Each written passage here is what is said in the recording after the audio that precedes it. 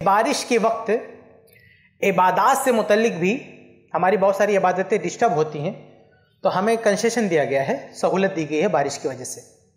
मिसाल के तौर पर, अगर बहुत तेज़ बारिश हो रही हो तो भाई नमाज़ में अगर मस्जिद में आदमी नहीं आता, घर पे जमात बना के या ऐसे ही पढ़ लेता है तो भी काफ़ी है। हालाँकि नमाज़ क्या है? नमाज़ फ़र्ज़ है और भी जमात के साथ फ़र्ज़ है।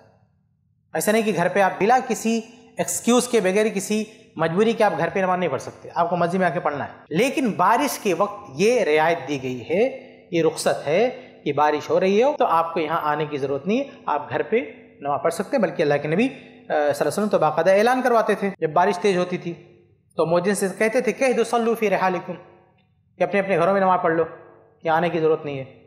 लेकिन याद रहे कि ये वाकई जो दिक्कत में है वो ऐसे नहीं, आजकल तो वो हालत नहीं जो पहले थे। पहले क्या था ना, कोई बिजली है, लाइट है, ना अंधेरा है, कच्ची सड़कें हैं, कोई आदमी घर से निकले तो बड़ी मुसीबत होती थी मस्जिद पहुँचना।